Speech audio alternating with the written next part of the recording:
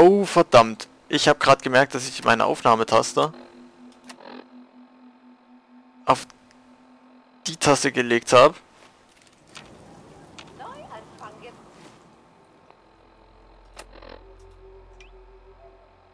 Genau, die mein Stimpaks, mein, äh, beziehungsweise nicht mein Stimpaks, mein Redaway.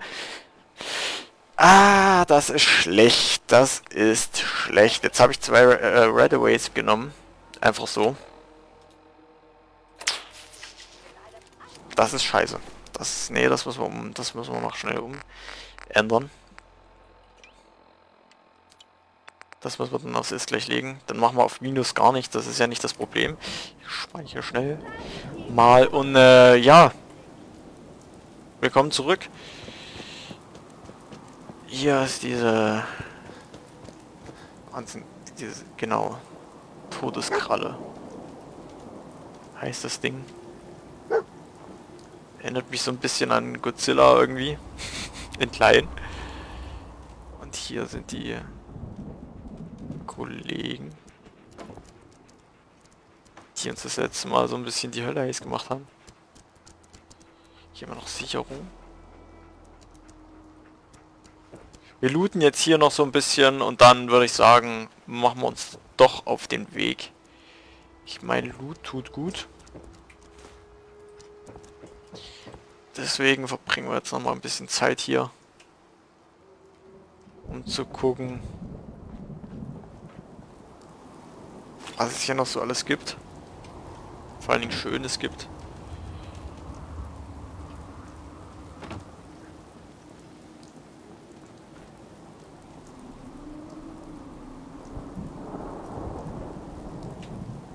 Alles klar, das geht nicht. Gut.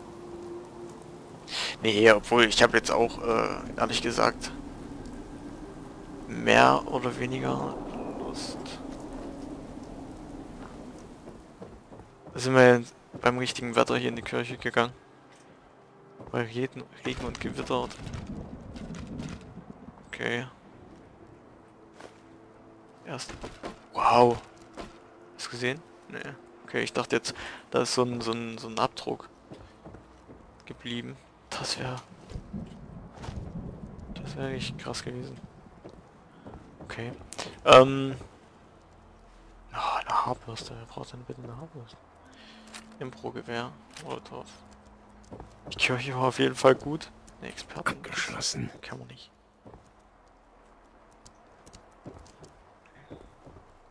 Die abgeschlossen war von, für dich ja sonst auch kein Problem, also. Das ist eine schwachsinnige Ausrede hier. Oh, Entschuldigung. Oh, verdammt. Ah, so. Jetzt mal auf den Kirchenturm. Ach, ja, klar, hier ist das Ding abgestürzt. Wo wir dann unseren Power-Anzug hergenommen haben. Boah. Holla.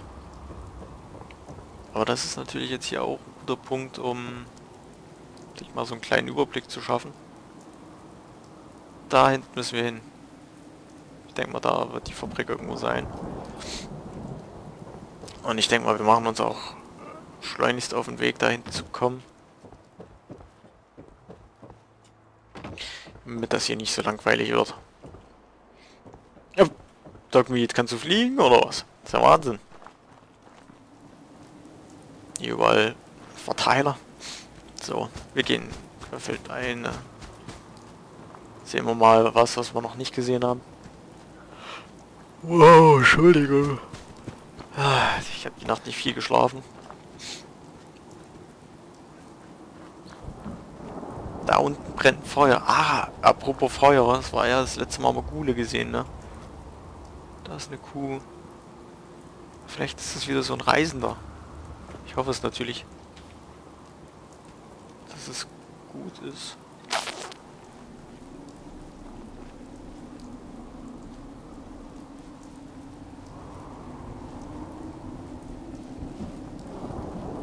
Okay, das Feuer ist verlassen. Ist im ersten Moment jetzt auch nicht so gut, ne? Stimpack. Okay. Ich lass mal nicht, dass er wiederkommt und das Feuer geht aus, ne?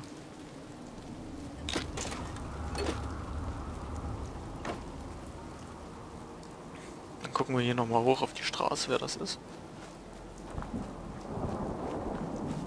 Vielleicht ist die auch allein einfach zurückgelassen. Was? Ach so. Hallo. Was willst du hier? Willst du handeln, mich ausrauben oder nach dem Weg nach Diamond City fragen? Eigentlich, ähm... Naja gut, nach Diamond City Diamond wissen wir City? eigentlich schon Bescheid. Wegbeschreibung. Hm, War klar. Geh einfach Richtung Osten, bis Ist du ja die. Skyline siehst. Über den Fluss. Das große grüne Juwel findest du innerhalb der Stadtgrenze.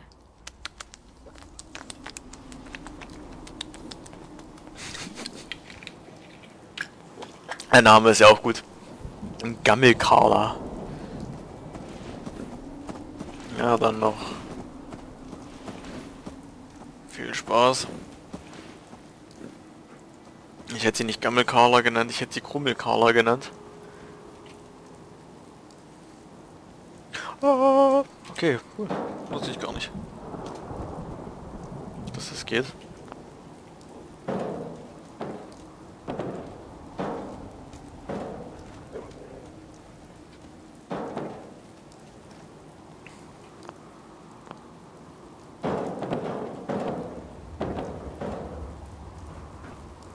Oh, okay. Nein, lassen wir das lieber auf. Am Ende führt das zum Glitch und dann ähm, geradeaus. Und links haben wir Wir jetzt hier. eine Abmachung, Trudy. Her mit der Ware. Du schuldest uns was. Von mir kriegt ihr giftverkaufenden Camps-Dealer gar nichts. Wisst ihr, was dieser Dreck aus meinem Sohn gemacht hat? Er wusste, was er da kauft, Trudy. Nicht unsere Schuld, wenn er hinüber ist. Also,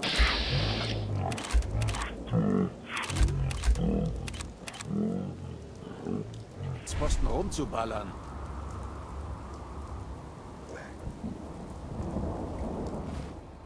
Wir hatten ja die Dings auf die 8 gelegt, ne?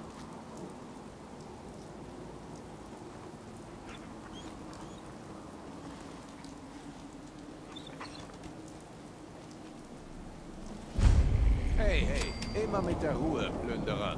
Das geht dich nichts an. Was ist hier los? Nur eine Meinungsverschiedenheit unter Geschäftsleuten. Trudy sitzt auf einem Haufen Waren, die sie mir schuldet. Ich habe versucht, mit ihr zu reden.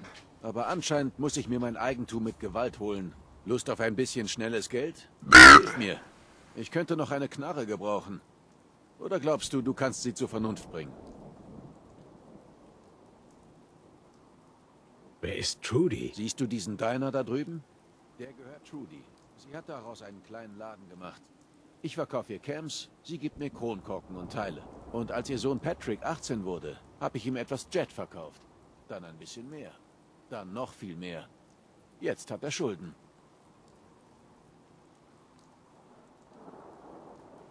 Ah, Jet ist dieses Verlangsamungszeug. Was ist Jet? Mein Kassenschlager. Davon lernst du fliegen. Das macht dich schneller. Nimm vor einem Kampf mal ein Näschen. Patrick wollte wohl vom Rockzipfel seiner Mutter loskommen und ein harter Junge sein. Also hat er was gekauft.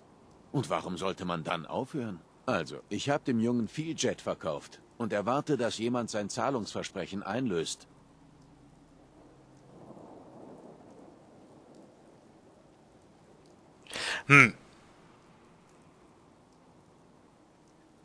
Mir scheint, als hätten Sie das Jet nicht kaufen und du es ihnen nicht verkaufen sollen. Ja, klar, hinterher ist man immer klüger. Also, hilfst du uns jetzt oder nicht? Wenn ich helfe, erwarte ich eine Bezahlung. Ich bin nicht zum Feilschen hier. Du bekommst, was ich dir geben will, verstanden? Also, wie sieht's aus? Ja, warum sollte ich eigentlich? Warum genau sollte ich dir helfen? Also, ich handle mit Camps. Du weißt schon, Medizin. Ist hier recht nützlich. Stimpaks können deine Wunden blitzschnell verschließen. Ganz zu schweigen von dem lustigen Zeug. Hab ich auch. Wenn du mir hilfst, können wir Geschäfte machen. Glaub mir, mich sollte man als Freund haben. Ich meine, das ist jetzt eine Zwickmühle, ne? Also ich, der Sohn hat sich verschuldet, jetzt muss die Mutter dafür ähm, halten. Ich rede mit ihr. Ich rede mit Vielleicht Trudy, können wir das genau. klären. Sehr Richtig. gut. Wenn was schief läuft, sind wir hinter dir.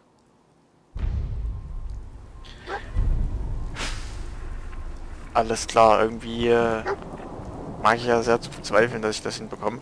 Aber weil er es gerade gesagt hat mit dem S- mit dem Jet, das werde ich mir mal auf eine auf eine Schnellwahltaste legen. Nicht auf Minus, weil das war ja schon richtig kacke. Schlagstock auf den 3. Ja komm, legen wir es auf die 3 und dann... Genau, müssen wir eben gucken, dass wir nicht auf die 3 kommen, aus Versehen. Dann können wir das ja sicherlich dafür nutzen. Hallo. Ich habe gesehen, wie du mit diesem Giftverkäufer geredet hast. Der kriegt kein Geld. Punkt. Also du schuldest ihnen Geld. Wenn du zahlst, ist alles vorbei. Alle ziehen ihrer Wege, niemand wird verletzt. Ich habe eine bessere Idee. Du erledigst Wolfgang. Ich zahl dir 100 Kronkorken, wenn du ihm eine Kugel zwischen die Augen jagst.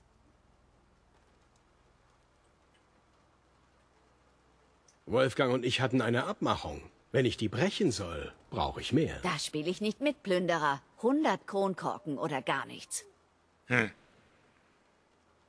Und warum sollte ich dir helfen? Es sieht vielleicht nicht danach aus, aber hier kommen Karawanen durch. Ich habe Vorräte. Hilf mir. Dann kann ich dir verkaufen, was du haben willst. Okay, Trudy. Ich räume ihn aus dem Weg. Danke. Ich gebe dir von hier aus Unterstützung. Schnapp ihn dir.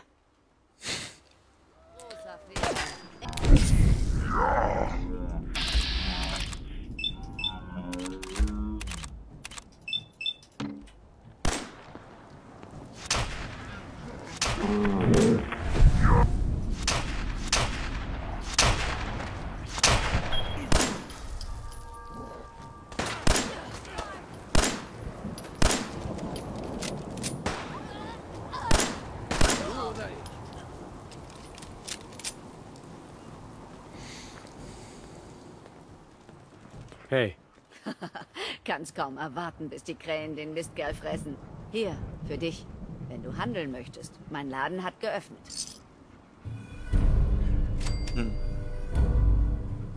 kommst du jetzt alleine klar? Ja, es wird dauern, bis mein Sohn von den Camps runter ist, aber wir schaffen das. So wie immer. Kommen wir zum geschäftlichen Teil. Brauchst du was für unterwegs? Vielleicht später. Okay, also... Jetzt kann ich hier sogar noch ausrauben. Wir gucken jetzt mal, was Wolfgang dabei hatte. Ich fand, das ist jetzt die klügere Wahl gewesen. Meint sein, äh, ihr Sohn, Entschuldigung, ihr Sohn...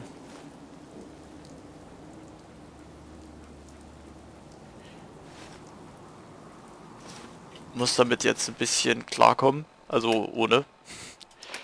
Ich meine, ist ja auch besser so. Aber ja, ich denke schon, dass wir das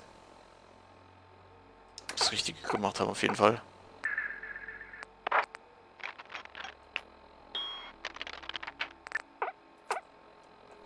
So, wir wollten mal gucken.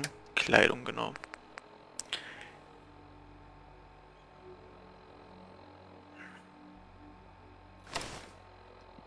Nehmen wir die, hat- die hat mehr Resistenz.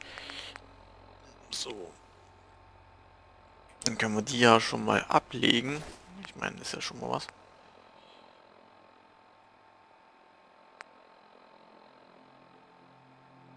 Legen wir an. Genau. Gut. Das war jetzt Wolfgang. Nee. Doch, das war Wolfgang. Und äh, die Dame hat sich hier ins Gras gelegt. Hinter den Reifen. Metallrüstung rechter Arm. Ja, wie gesagt, für mich war das jetzt auf jeden Fall die bessere Entscheidung. Ich meine, eine Frau und einen jüngeren Mann, naja, umbringen ist sowieso nie eine Lösung, aber ich habe es ja nicht dazu gekriegt, irgendwie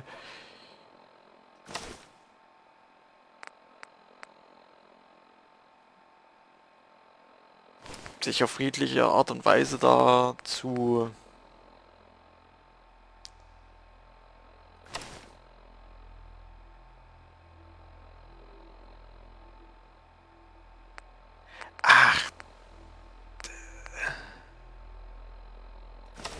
Die schützt mich sogar...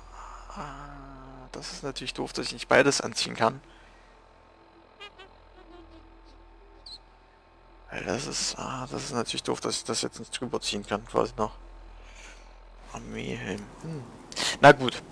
Ähm, ja, wie gesagt, ich finde ich find die Lösung so an sich besser. Die hat jetzt hier einen ganzen großen Laden, da können wir jetzt gleich nochmal gucken. Wolfgang verrottet in der Hölle. Und genau. ich kann ruhig schlafen. Richtig. Danke.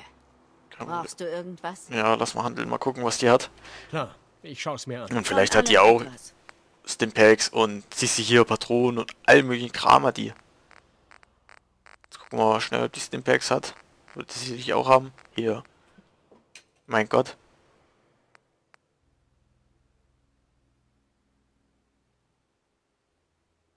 Und genau das meine ich halt. Wert 6. Nee, ich glaube, im ersten können wir noch irgendwas machen. Ähm, die hat ein Telefon. Cool. Nee. Was ich sagen wollte, äh, das ist genau perfekt. Perfekt gelaufen. Welche Munition brauche ich denn jetzt für diese komische Sniper? Was war anders?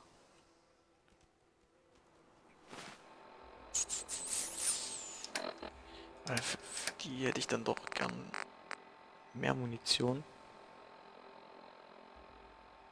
Aha. Okay, habe ich 200 Schuss. Gut, das reicht. Nee, dann handeln wir jetzt nicht, aber die hat ja hier eine Unmenge. Nochmal mit dem Sohn reden kurz. Ich nehme nie wieder Ted. Ich schwör's. Oh, da ist Patrick. Oh, du Vollidiot. Warum?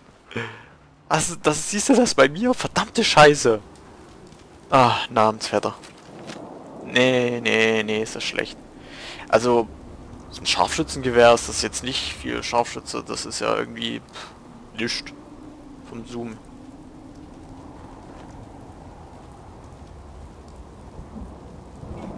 So, was wollten wir? Haben wir jetzt eigentlich noch das richtige Ziel vor Augen? Irgendwie sieht das mir gar nicht so aus. Ja, doch.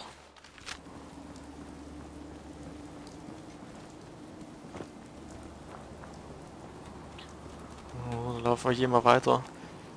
Wie gesagt, in der Gegend werden wir auf jeden Fall noch Stunden verbringen. Mehrere Stunden. Und ich denke mal, dass wir hier dann auch noch zum ruhigen Looten kommen.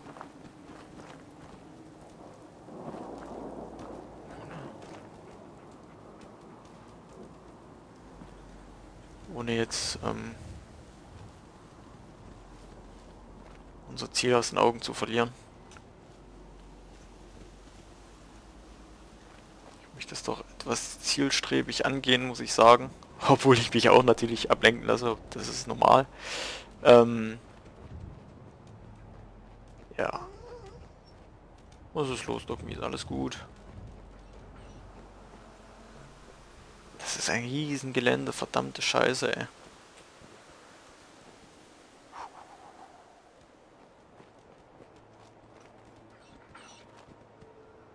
Das wird noch lustig.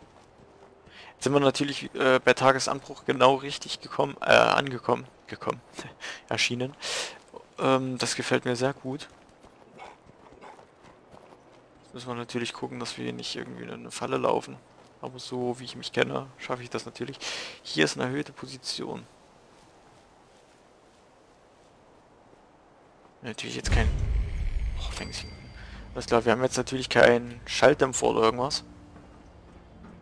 Was bedeutet, wir haben jetzt natürlich auch keine Möglichkeit, großartig im Ruhigen die ganze Sache anzugehen. Mir ist alles verdammt ruhig. Gefällt mir überhaupt nicht. Eine Waffenwerkbank. Genau. Lassen wir uns noch mal von der Waffenwerkbank hier zeigen, was alles noch so möglich ist. Und ähm, verwerten das mit die ganzen Waffen hier.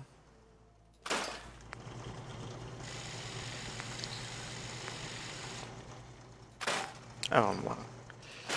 Das, was wir eh nicht brauchen. So, das ist unsere... Den brauchen wir eigentlich auch nicht. Finden wir bestimmt auch nochmal schön eine. Automatische... Pro- Ja, Lasergun. Repetier.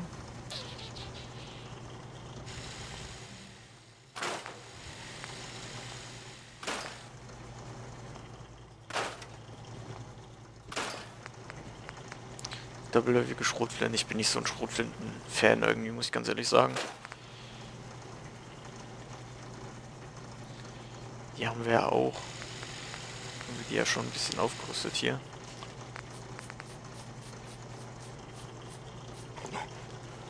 Die ist ein bisschen besser, gell? Umbinden.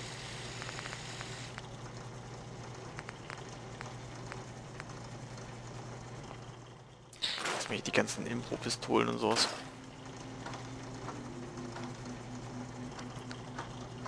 Die werden wir mal so, 22.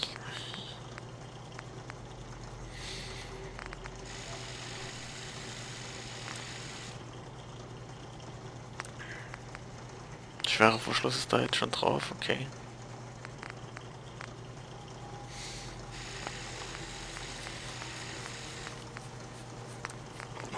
Na komm, ah, verdammt, okay, da brauchen wir Rang 2 und dann Schalldämpfer und sowas, da hätten wir auch gar nicht die Aluminium brauchen wir dazu, okay. Krass. Hm, die, die Reichweite verringert sich da dann natürlich, das ist klar. Vielleicht können wir uns... Ach, das ist unser Scharfschützengewehr.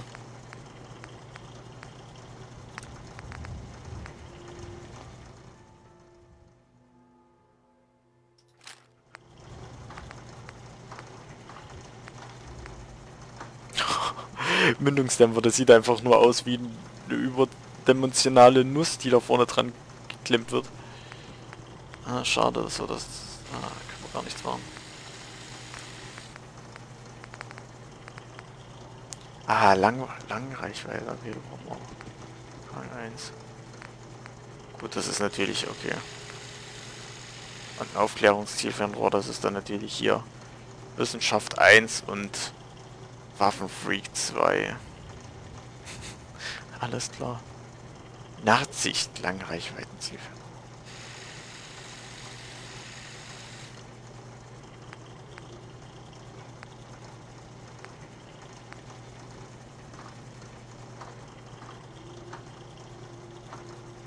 Waffenfreak 1. Ich glaube, ich weiß schon, was ich als nächstes machen werde. Mal in die Richtung Waffenfreak gehen, weil das ist schon eher so meins. Und ich würde sagen, wir machen hier einen Cut. Wir sind ja jetzt angekommen.